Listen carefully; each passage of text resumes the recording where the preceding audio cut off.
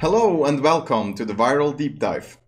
So with this class we will uh, teach you multiple aspects of hand tracking. But it, if it does a double pinch, a little sphere gets created.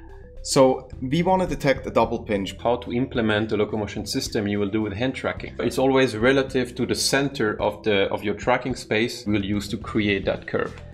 Both directly with touching it with your fingers, basically build that you can interact with it and make it fully interactive and responsive. For example, we will start with like the hand UI to use pinching gesture to expand those parts dynamically. Dot product and how it works and what kind of value you can use to detect those events. So let's have a closer look at the actual implementation.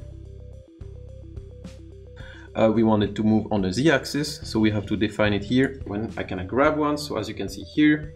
When they lie on the table are fully physics-based, as soon as you grab them, you can even throw it in and it goes directly in. It's all automatic. Even if you hold an object now, you actually can still interact with the world. Different kind of joints, we will uh, go through them, all of them and see where they can be used.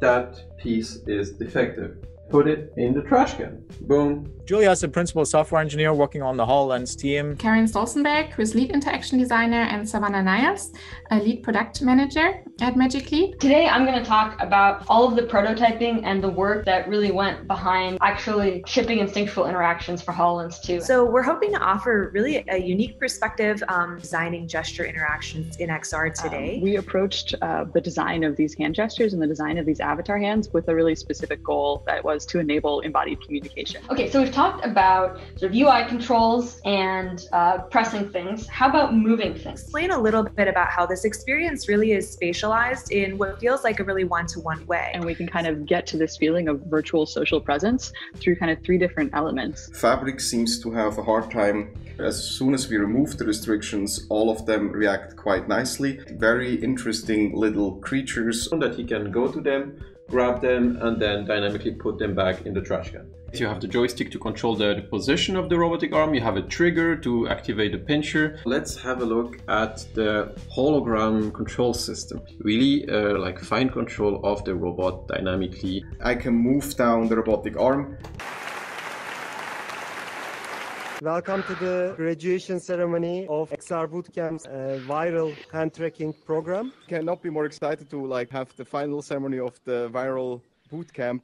Uh, we really enjoyed it, and we were especially happy when we got the feedback from you that you really enjoyed.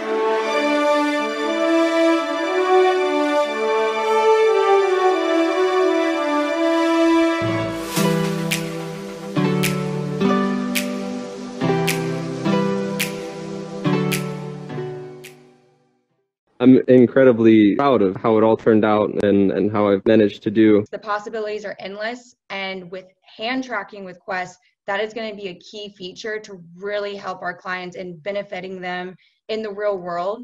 Um, keep in mind, a lot of our clients, they're not technical. They are at their day to day jobs, at their work environments, and they've never have the time, they've never tech, touched this technology before.